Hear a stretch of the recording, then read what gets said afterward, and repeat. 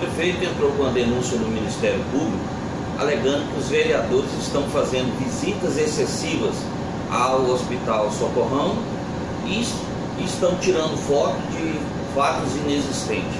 Ora, o prefeito não pode fazer isso jamais, porque essa é uma das atribuições do vereador, fiscalizar.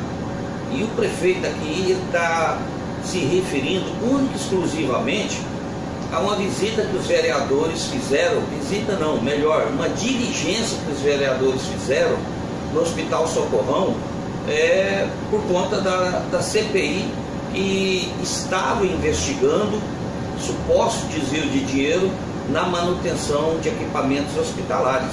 Então ali naquele momento eles estavam a trabalho, eles estavam ali olhando em, em loco os equipamentos que a empresa CAP dá manutenção. É, eu até fiz uma postagem, no final eu termino dizendo o seguinte, que o prefeito denunciou no Ministério Público os vereadores que estão trabalhando. Seria bom o povo de Imperatriz denunciar o prefeito do Ministério Público, porque ele não está trabalhando.